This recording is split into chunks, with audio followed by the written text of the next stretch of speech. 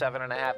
Let's get over to our man, Mr. Steve Rhodes, as we do each and every Monday at 20 past the hour. And don't forget, folks, Steve has an outstanding show here every trading day, 1 to 2 Eastern Standard. Uh, uh, yeah, 1 to 2. No. Yeah, 1 to 2 Eastern Standard Time.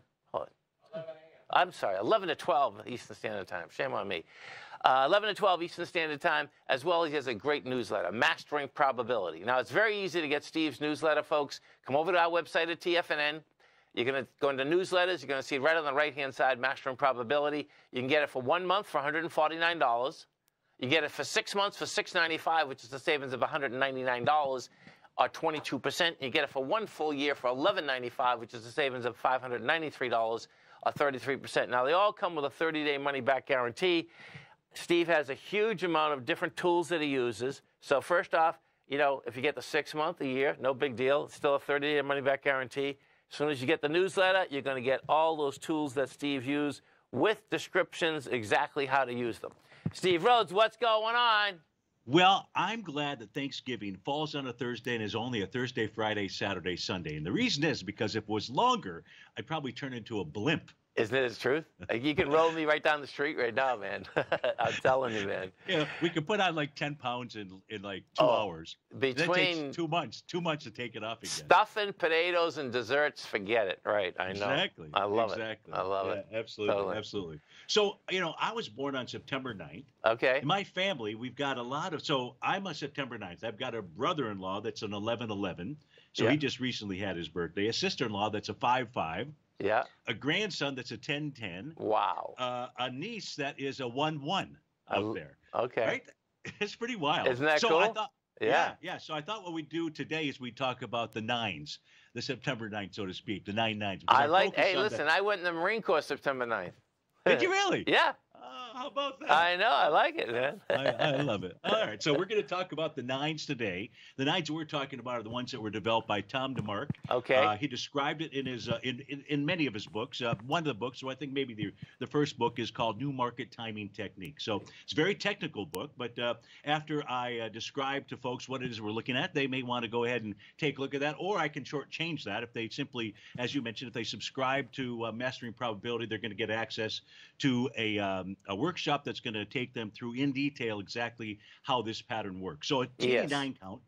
And we're just focused today on the uh, tops out there. Okay. A TD9 count consists of nine consecutive closes, where each close is greater than the close four bars earlier. Yes. And it works for all time frames, folks. Yep. So you can, if you're an intraday trader, you can use this tool. If you're a weekly, you know, it, it doesn't matter what your time frame is. Now, when this occurs, meaning when we get a confirmed TD9 count top, the market market typically does one of three things.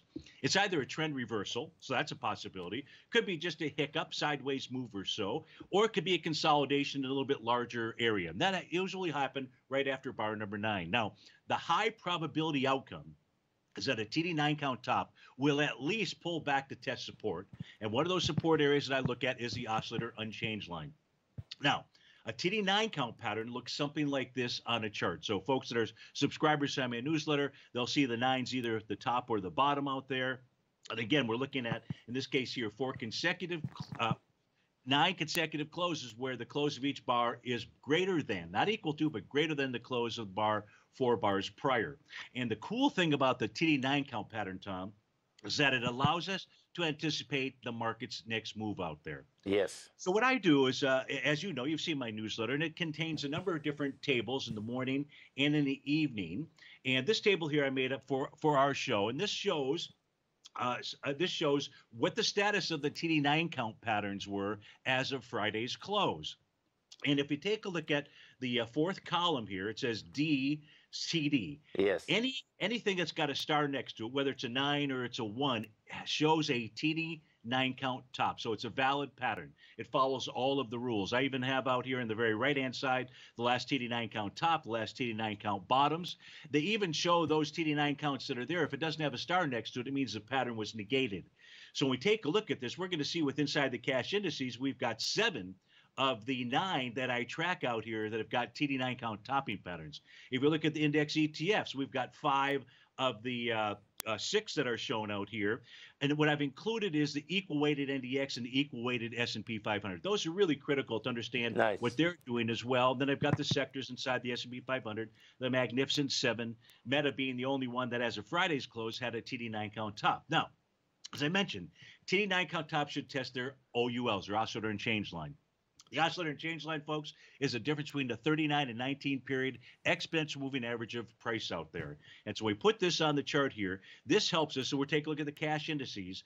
This shows us exactly where price should pull back to. And it's that green line that is on my screen right now. Each of these are green except for the transports. Now, the transports do not have a TD9 count top. So they're whether they pull back to test that line or not is as irrespective of of the pattern that's out there. So right now in the Dow, for example, 34,950 would be a price target, 4505 for the S&P, the Nasdaq 100, 15,839.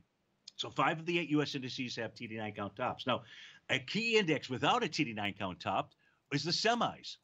So they've got a TD9 count pattern, but if folks take a look at this chart here, they'll see that the high formed on bar number seven. That doesn't qualify as a TD9 count top the, the, the high of the pattern needs to occur on bars 8, 9, or the bar following bar number 9. But what we can say about the semis is that price got back to where price had broken down from, and that's a, that's also another great tool of the TD9 count pattern because it's a objective, not a subjective uh, value out there. And oftentimes, getting back to where price either broke out from or broke down, in this case here, broke down, can be a top. So even though it doesn't have a TD9 count pattern, a TD9 count pattern, it did get back to a resistance level, so it could be a top. Three of the four equity future contracts have TD9 count tops, and they suggest retracements back to their oscillator unchanged line. But the TD9 counts, they can fail. Here in the blue lines, you can see on Netflix, you can see the successful TD9 count top and bottom.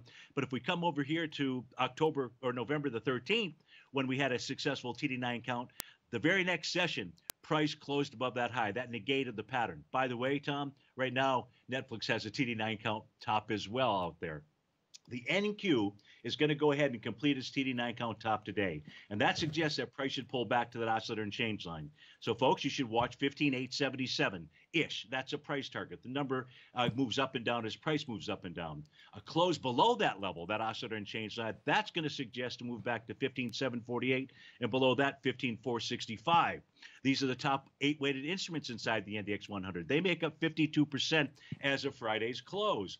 Only Microsoft now, because Microsoft today, that little spike higher, actually triggered a TD9 count pattern. So by day's end, we should have a TD9 count in Microsoft. That pattern should complete on Monday.